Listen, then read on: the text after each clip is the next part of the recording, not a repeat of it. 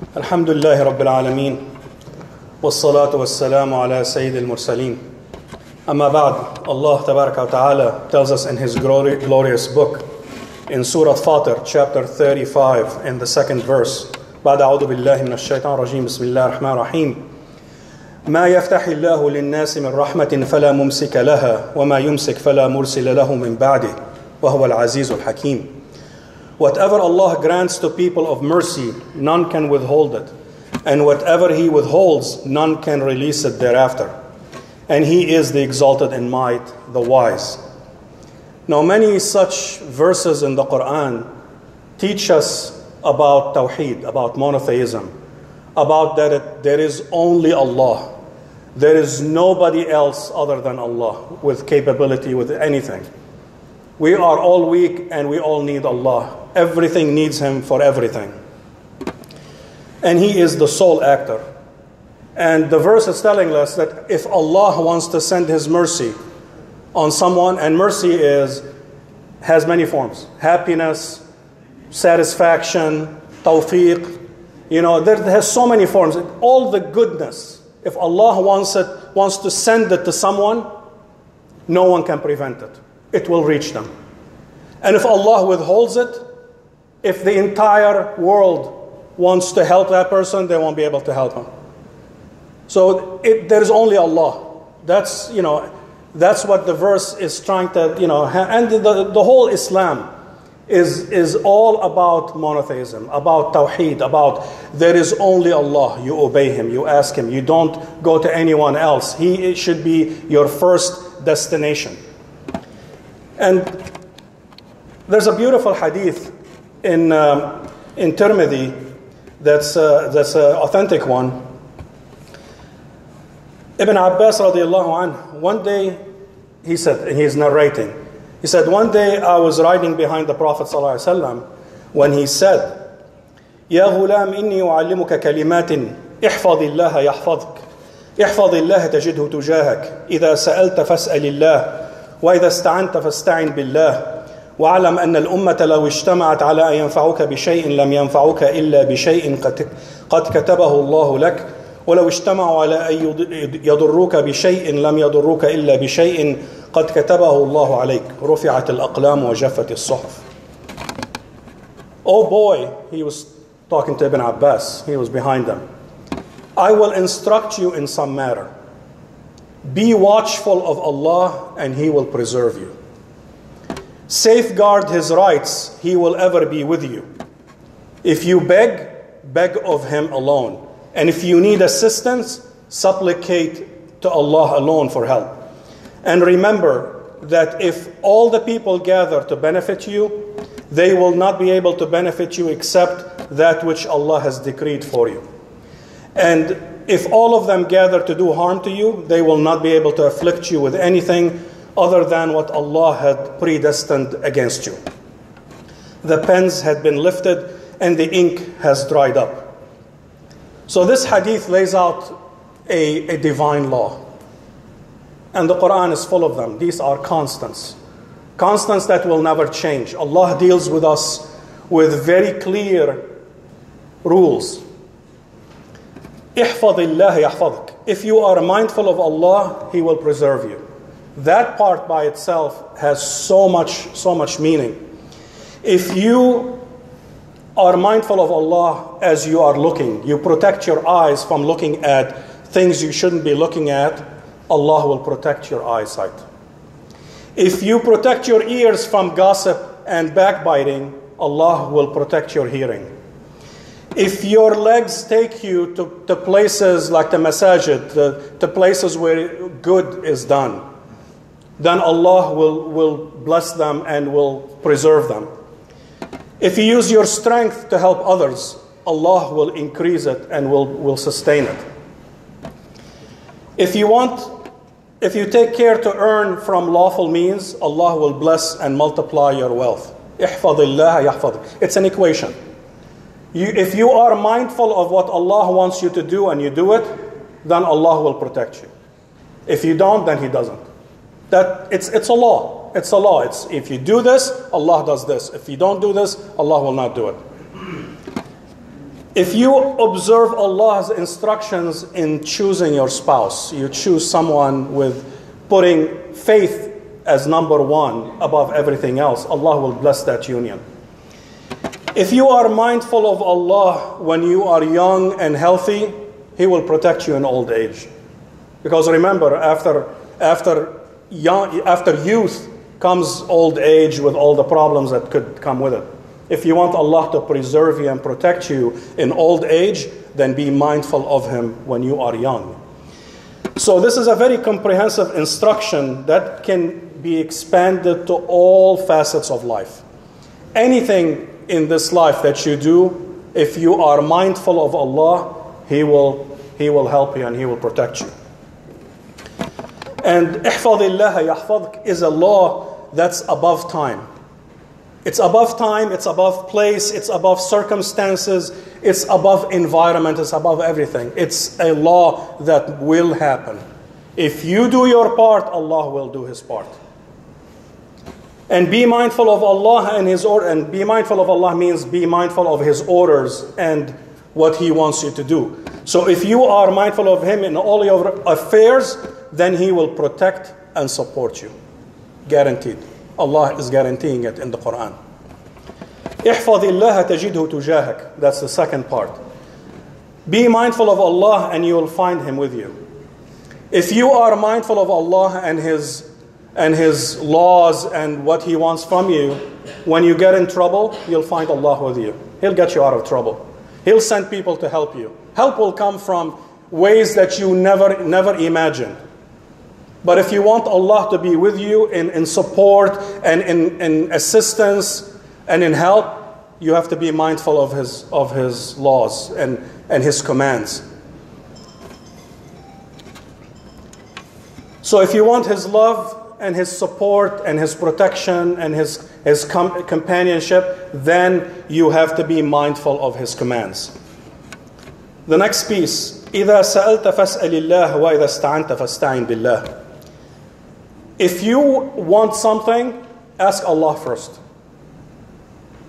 You don't go asking people that don't have things. You go ask the ones who have it. And all of us, none of us have anything. We only have what Allah wants us to have. The source is Allah. So if you want anything, you ask Allah first. That doesn't, that doesn't conflict with going and asking people as long as in your heart you know that only Allah will make it happen. Asking people becomes part of doing your part, not relying on it for, you know, for, you know, for results the results will come from Allah. And you know that in your heart, but you go in and do your part. Because you cannot just sit at home and, and expect it to come. You have to do your part. If you ask anyone else, if you put your hopes in anyone else, if you think anybody else is going to benefit you or harm you, Allah will disappoint you. If you forget about Allah, Allah will disappoint you, will make sure that you get disappointed and you will not achieve what you wanted to. If you have a boss at work that loves you and he's powerful, and, and if you think that that's what's going to get you, know, get you to stay in that job and get, get promoted, and forget about Allah, that Allah is the one who gave you that job, who's going to get you through the ranks. If you forget that, you'll be disappointed because you'll never get what, what you want. You have to ask Allah first. You ask Allah and then you do your part. And sometimes Allah ta'ala, out of His wisdom, He closes all the doors except His door. So you come to Him, you plead with Him, you beg of Him because He makes you recognize that truly nobody else can help you. Everybody is just as helpless as anybody else. Only Allah ta'ala has the power, has whatever you seek is, is with Allah. So ask for Him alone. واعلم أن الأمة لو اجتمعت على ينفعوك بشيء لم ينفعوك إلا بشيء قد كتبه الله لك ولو اجتمعوا على يضروك بشيء لم يضروك إلا بشيء قد كتبه الله عليك so, and this, this is a law in, in, in monotheism. Allah in the hadith saying that know that if all of humanity wanted to benefit you and Allah did not want to benefit you, you're not going to get anything. even if all 7 billion of them, you know, were collaborating to help you and Allah did not will it, it's not going to happen. And the, the flip side is correct as well. If all of them wanted to hurt you, but Allah wanted to protect you, they cannot get to you. You have to, you have, I mean, that, that part has to be entrenched in our psyche and in our understanding of what it is to be with Allah. That if you are truly obedient to Allah and observant, He will protect you, He will be with you. Don't fear anybody else. They cannot get to you. They cannot get to you except with things that Allah has destined to you for your own benefit. We may, we may interpret things as bad, but on the day of judgment, Allah will show us all of these events. All of these things that we thought, my God, why did this happen to me? Why did this, this musibah happen to me? And Allah will show you why it happened and the results that, that it had. And the only thing you will be able to say is Alhamdulillah. Thank you, Ya Allah. Thank you for letting it happen. Because if it did not happen, you would have accused Allah for not taking care of you or not being wise. So it's our understanding that's, that's shaky. So this is, you know, nobody can benefit or harm anyone without Allah's knowledge and will. And if Allah allowed it to happen, it is for something good for you. If you are going astray and you have a problem that gets you back to the straight path, well, I mean, you asked for it. You should have stayed on the straight path. So that's a good thing. That musibah, that, that calamity that fell, that got you back to, to the straight path and to Allah, is a good thing for you, even if you perceive it as something horrible that happened. It's the outcome, it's, it's the result. So anything that, anything that happens, it happens with Allah's leave, with His will. And His will is connected to His wisdom, and his, from His wisdom, only good comes for His, for his creation. بِيَدِكَ الْخَيْرِ in, in, the, in the verse, Allah did not say that in His hand is good and evil. He said only good is in His hand. Because only good results from His actions. So when we know that whatever happens to us is for our benefit, whether we perceive it to be good or bad, now you're on the right track. Now you understand what Tawheed is, what monotheism, what is it to be a servant of Allah. Allah says, I, you know, you sell yourself to me and I'll give you heaven. If you have that contract with Allah, in al anfusahum, if, if you have that contract with Allah, then you cannot complain if something happens to you. It's Allah's will. If you go and sell a house, are you going to complain if somebody comes in and demolish some walls and, and change the layout? No. Because you, so, you already sold it. They can do with it whatever they want. And that's how we are. We as believers, we have sold ourselves to Allah in obedience and in doing whatever He wants, and He can do whatever He wants with us. But know that only good comes from Allah. Our dealing with Allah is, is based on very clear terms. Allah is not moody like other people are, where you, can, you, know, you cannot please them. No matter what you, there are some people, no matter what you do, you cannot please them. Not Allah. Allah ta'ala is very easy to please. You obey Him and He'll be pleased with you. And if He's pleased with you and He is with you, don't, don't worry about anything. Don't worry about anything or anyone. رفعت الأقلام وجفت الصحف. The pens have been lifted and the ink has dried. It's a done deal. It will not change. That's what it's, it's saying. That's a metaphor for it's set in stone. It's not going to change.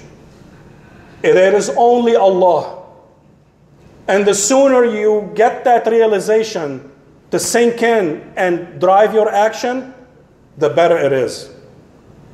You want something? Ask Allah. You're afraid of something? Seek refuge in Allah. Whatever you want, Allah has. And if, and if it's good for you, He will provide it. Ask Him. Rely on Him. Trust in Him. Trust in His disposal of affairs because we don't know what's good for us. We want stuff, but we don't know what's good for us. Sometimes we want things that are bad for us. But Allah Ta'ala, if you rely on Him and you say, Tawakkaltu ala Allah, I rely on you to dispose my affairs, then know that anything that happens to you is going to be for your own good, whether you perceive it or not. أقول قولي هذا واستغفر الله لكم فاستغفروه إنه الغفور الرحيم